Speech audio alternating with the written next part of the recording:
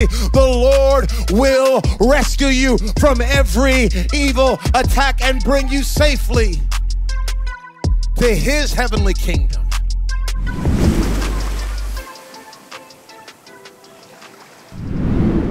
So, so Daniel here, he's getting filled up, he's getting filled up, he's getting filled up, he's getting filled up, he's getting filled up. His, uh, his haters, his friends, they show up, and in verse number 11, uh, they show up as a group, punks. They show up as a group, and they're like, hey, we see you praying. Ha ha ha, caught you. Caught you praying. Yeah, I'm praying. We caught you praying. We're snitching on you. And the next verses, they go down and they go and they snitch on them. Okay? And you know what happens to snitches.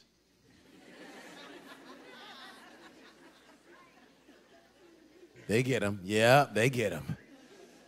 So these these snitches, these terrible co-workers, uh, they go and they tell the king, "Hey, king, your favorite employee, you know the one that you love so much, the one you wanted to promote over us, though I've been here longer. That that that guy, he was praying to someone not you.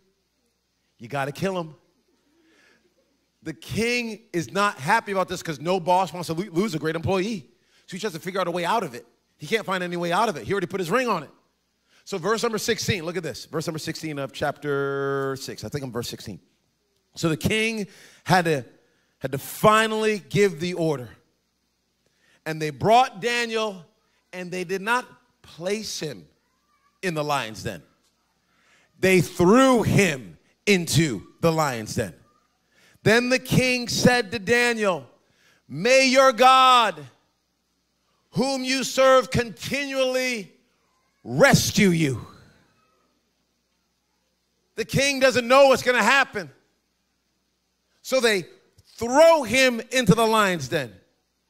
He ends up in the lion's den not because he did anything wrong, but because he was doing something right.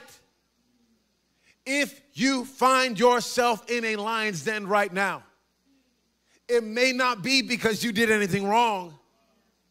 It very well could be because you've been doing everything right. And if you're a follower of God for any period of time, if you surrendered your heart and your life to Jesus Christ, if you receive the forgiveness of your sins and you've surrendered your way, your will to Him, at some point in time, you will end up in a lion's den. And it probably won't be your fault. This even happened to the Apostle Paul. Look, I'm going to show you this verse in, uh, in 2 Timothy, uh, 2 Timothy uh, chapter number uh, 4, 2 Timothy uh, chapter 4. Look, look, look at this, look at this verse. He's writing and he says, But the Lord stood at my side and gave me strength. He was at my side and he gave me strength so that through me the message might be fully proclaimed and all the Gentiles might hear it. And I was delivered from the lion's mouth. The Lord will, not might, the Lord will rescue me from every evil attack and bring me safely to his heavenly kingdom. To him be glory forever and ever. Amen. Here is the Apostle Paul, and he's writing, Yeah, I've been through, beep, I've been through it.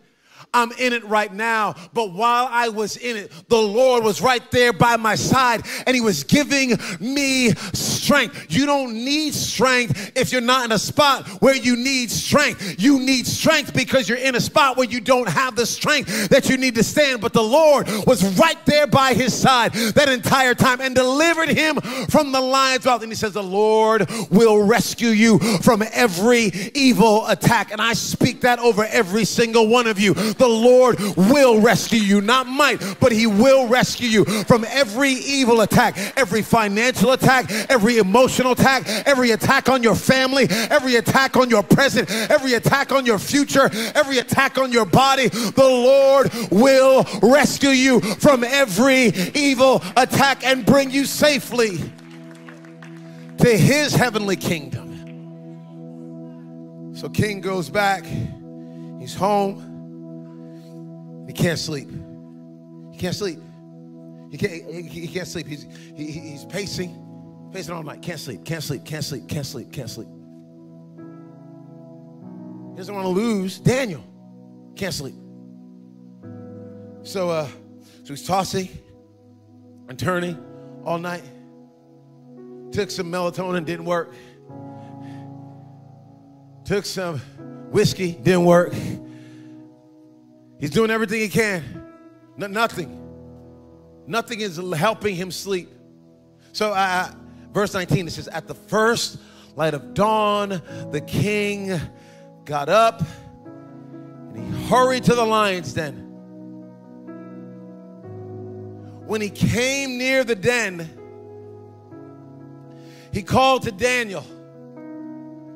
Now, Daniel's in this den, and we know he's not supposed to be there. He can ask the question, Why God? Why God? Why God? Why God? Why God? He doesn't ask that. We don't see him asking that question. But now the king is running towards the lion's den. The stone has been foot put in front of it. He's been stuck there all night. The king runs to Daniel and in an anguished voice, Daniel servant of the living God, has your God, whom you serve continually, has he been able to rescue you from the lions?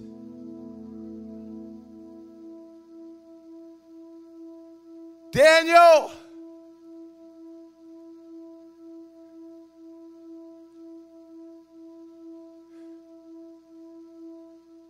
verse 21 says, Daniel answered.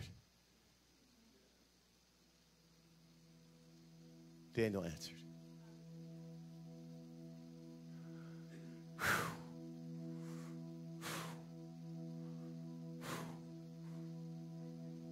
Daniel answered. Daniel, He answered. He's still in the lion's den, but he's able to answer. So, did God bring you through? The question is not, why did God put me here? The question is, can you still answer? Because if you can still answer,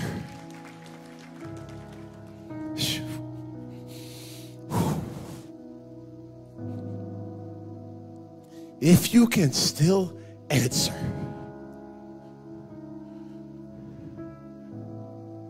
then God has stood by your side. And He has been a strength to you.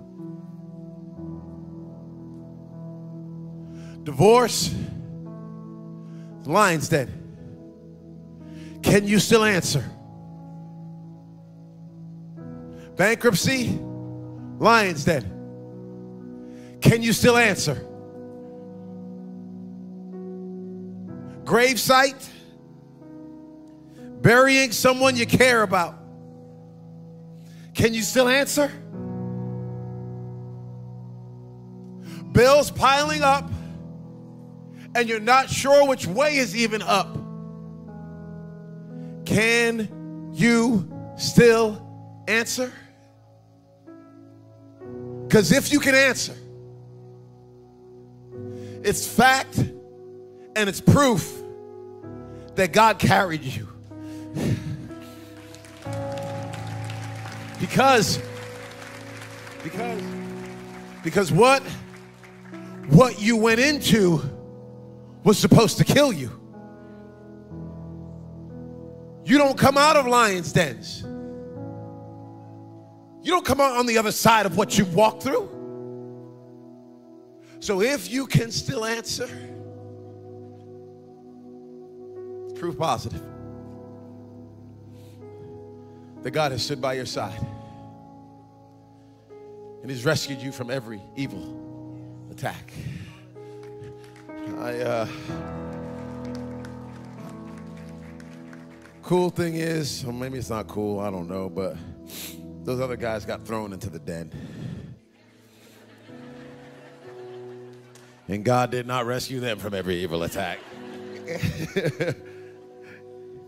Killed every last one of them jokers.